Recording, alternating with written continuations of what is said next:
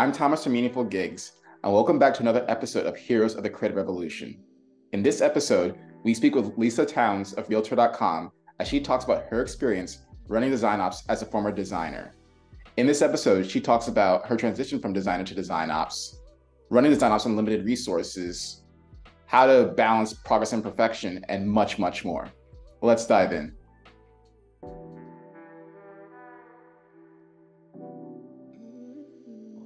Lisa, welcome. Uh, super excited to have you on. Would uh, love to hear about kind of your background. I see that you were a graphic designer before. So how did you get into the the ops world? Yeah, so my background is a little bit of a winding road, which I feel like a lot of people in design ops tend to take some other course rather than the straight and narrow. Um, yeah, I started out in graphic design and advertising, worked at ad agencies for a few years. And then in 2008, when the housing market crashed, um, my copywriter and I decided to go off on our own and start our own design studio. Um, it was a design letterpress studio. So we ended up kind of shifting into some wholesale business and actually selling gifting goods to a lot of larger companies like Target, um, Urban Outfitters, Papyrus, you name it. If it was a greeting card or gift wrap, like we had it, we were selling it to those stores.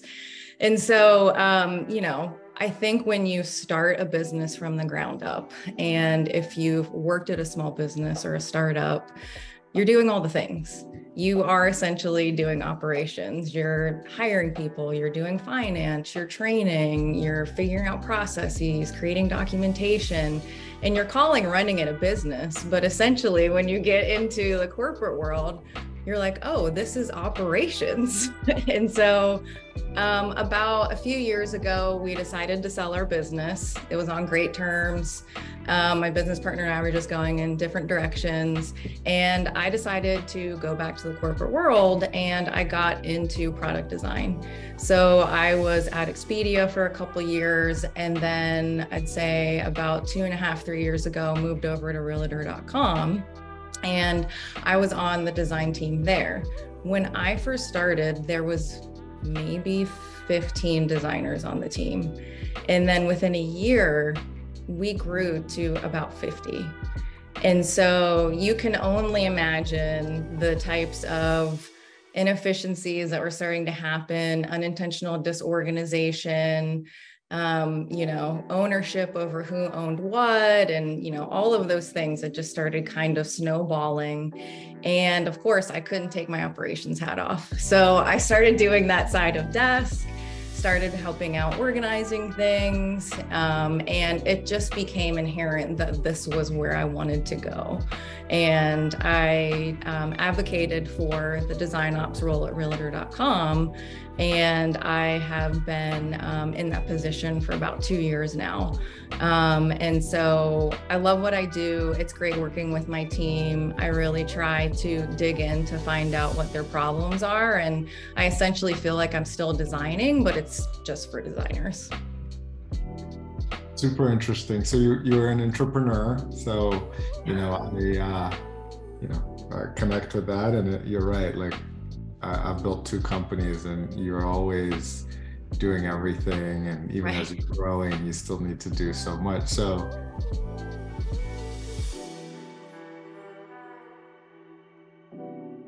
i don't feel like uh, not everybody has the design background and how does it feel to be kind of not the designer not controlling the design process but controlling the operations? Yeah. A lot of people ask this. I think I'm a little bit of a different designer, and I always have been. Um, I'm very type A personality. I don't like to procrastinate. If there is a deadline on my plate, I will make sure it is done well in advance so I'm not stressing out. and so I think those two sides of my brain tend to work really well together where I am organizing things. I mean, I'm very organized in my regular life anyway, but um, the designer part of me, I was okay with letting that go because I still feel like I'm helping out the design team. Um, and I have such a strong understanding of what designers need being on that side that I can speak up for them and contribute in such a different way that maybe the design team feels like they necessarily can't. So I'm not afraid to jump in and say, hey, we need to be in this meeting or we need to have this conversation or you know if i'm seeing that maybe we can scale something for the design team that everybody's benefiting from it i'm just really good at connecting those dots and making sure that you know the the designers are are getting what they need but i'm still getting fulfilled at the same time. Yeah no that that's great. I feel like uh, i wish more people were like you. You understand your own superpower and then you're like okay i'm gonna use my superpower to help the team instead of holding on to one kind of identity. Yeah. Yeah. That's, that's, amazing. Um, also, side note, you, you mentioned Papyrus. Have you ever seen the SNL uh, clip with Ryan Gosling and Papyrus?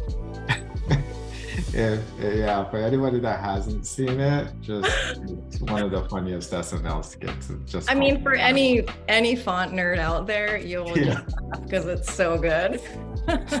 it's it's perfect. It's perfect.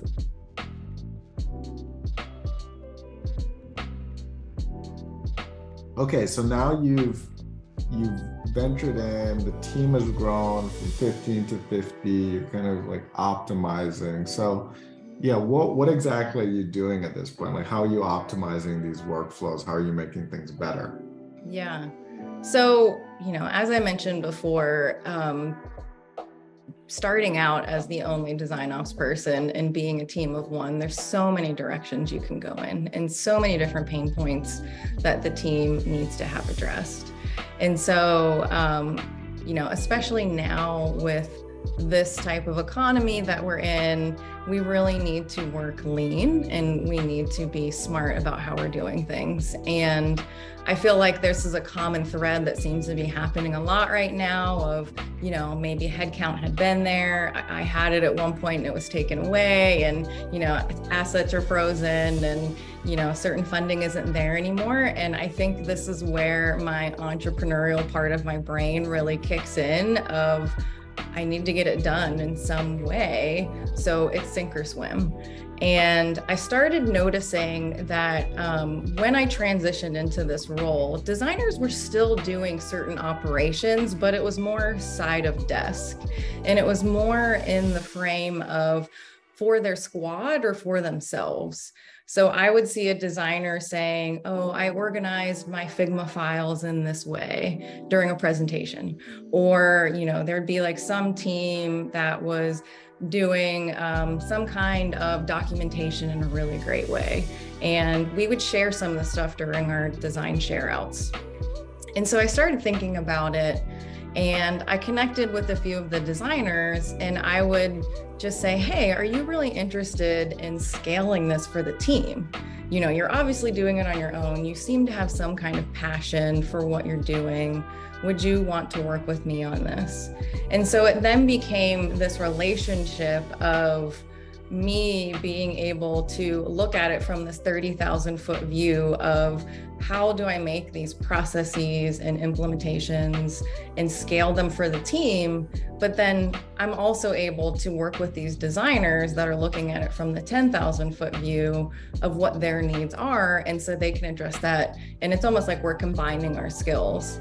So we'll have working sessions sometimes um, and we'll have like check-ins and that way i'm not necessarily having to be in the nitty-gritty ic work of operations and i'm able to manage it on a larger scale but then also those designers are you know maybe if they're mid-level or maybe junior they're they're starting to gain those skills of working more for the org or being able to present things to the team and like really grow in their development. So it's almost this really nice symbiotic relationship Okay, so it sounds like you, yeah, you work directly with the team and then combine kind of your superpowers with theirs, and because you're looking at the world a little bit differently, and so you're able to get their buy-in first, and then show them how we could all work together to make things better for the entire sure. company. Yeah, yeah, definitely.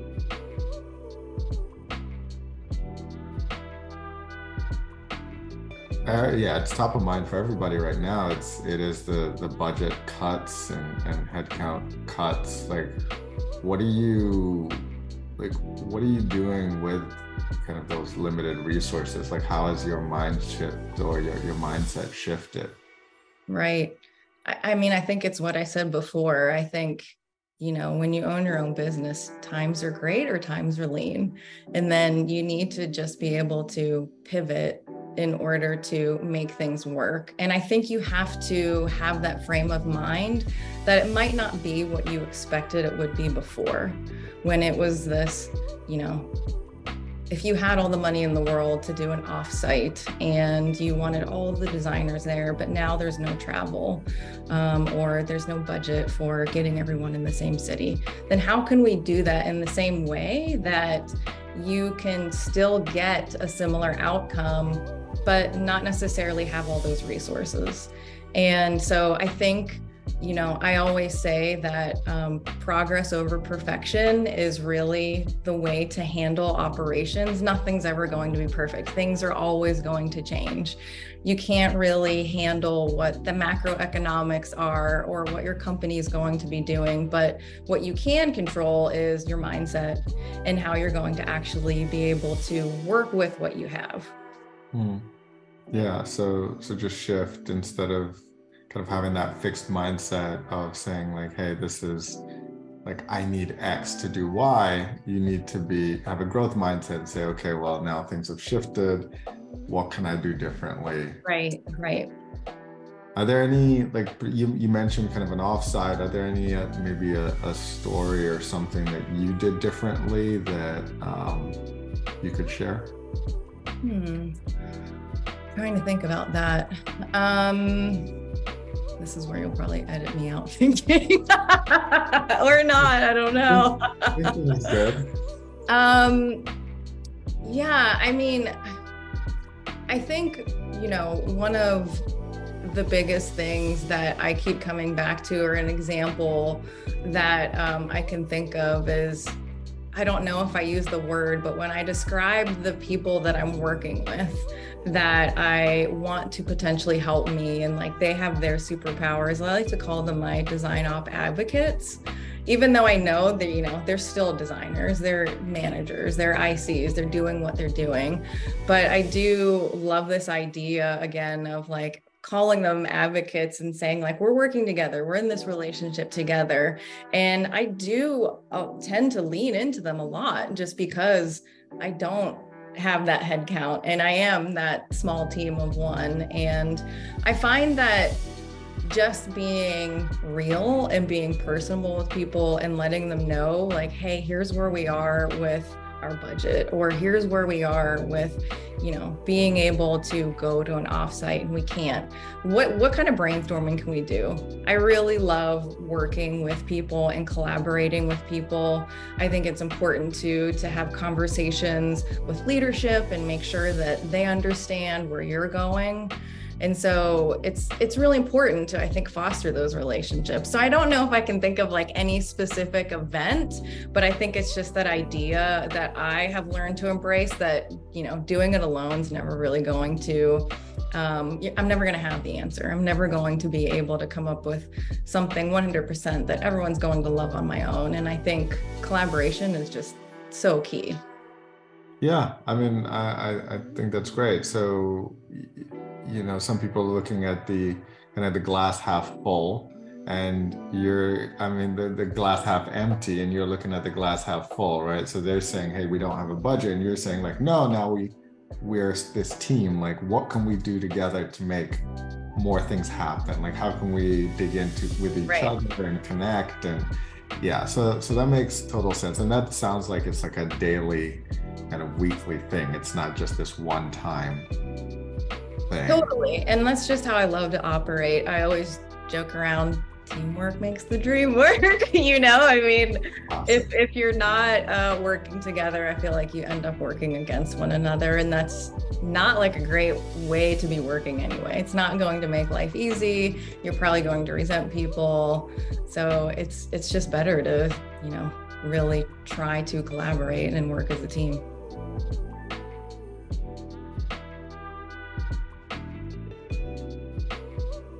like with all work environments and all projects and all you know good times and bad times there are challenges that come up. And if you were to kind of look back and think about one of the biggest challenges you had to face well what would that be?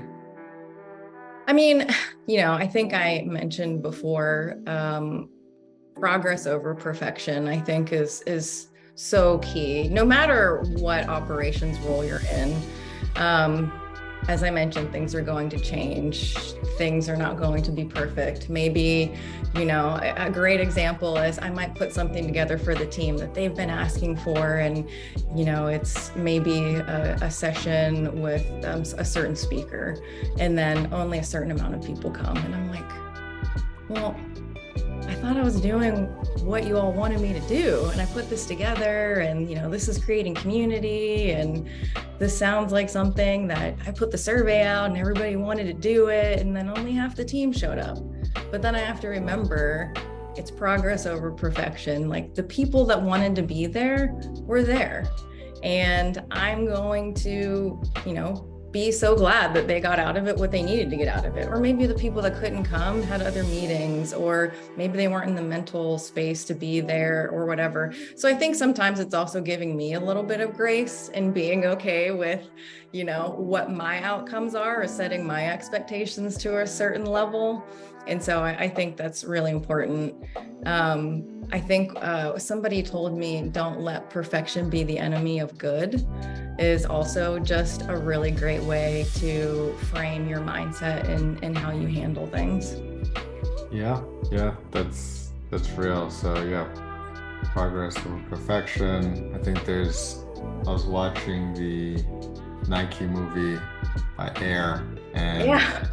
I think one of their principles was like perfect process, not perfect outcomes or something. Right, so right. process that you follow, but the outcomes you can't always control. Totally. And that's just how things are going to be. I mean, I think I used to be so stuck in I wanted to get from point A to point B, no matter what I did in my career or just, you know, in my personal life. I'm never the type of person who enjoys the journey. and so I've had to really teach myself and learn that it's okay. That's part of it. And that, you know, you will eventually get to point B, and point B might not look like what you thought it was going to be, but that's still okay. Yeah, I I teach that to everybody at, at my startup. That oh, you do? yeah, because our heart wants point B, right? It's it's our intuition, our feeling. We want to be somewhere, but those outcomes, if we hold on to them, they hurt us because we can't always control how we get there. And the thing that we can is what I say is like in our head. And that's the like, well, what can you do? Take one step in front of the other.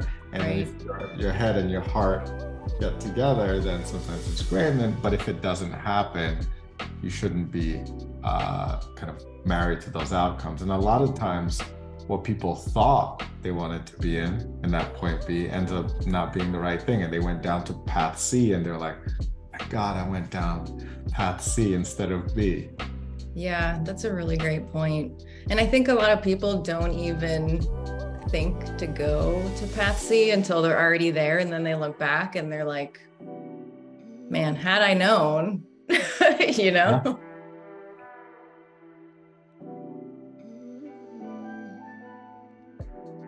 So yeah, what what's uh what's the most fun you've had doing your job? I am a big documentation nerd. So I will say that I do love that. I love trying to get everyone to document, but I know it's not going to happen. I do volunteer to do it though for other teams. Um, but besides that, I think that honestly, the team that I'm on right now, and the reason why I ended up going to realtor.com was the people that work there. Like, I just really loved my coworkers. And when I got to know them, I just realized that it was a design team full of people that didn't have egos, that were willing to step in and help out, that really had that mindset that I was talking about of like working together and collaborating. And I feel like you don't get that a whole lot um, in a lot of corporate jobs. Um, and so when I felt that sense of this could be like a really great place to work, I just knew that the fun was going to come. And so, you know, being able to hang out with them, having some of our like team all hands and team meetings, and sometimes we play games together. We're a distributed team, so it's always different on what we can and cannot do. Um, but even hanging out with the ones that are local in Austin, it's always a good time.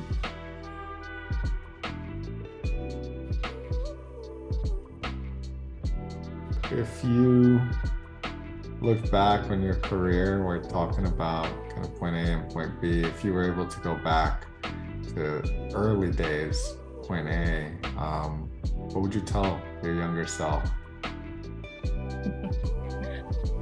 oh, there's so many things. Um, I heard a really great quote listening to a podcast recently. I think Jane Fonda said it that no is a sentence.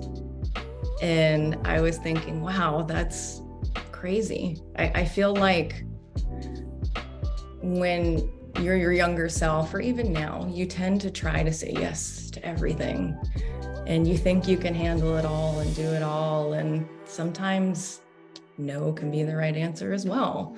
Um, so I think it just, you know, depends on the situation, obviously, but I do think that was like just so strong and really struck me. I, I know, like, when we were preparing for this, I was thinking of something else. And then I literally heard that in a podcast yesterday when I was walking, and I was like, wow, that really just struck a chord with me. No is a sentence. I love that. And and it is very, very profound. I think it it takes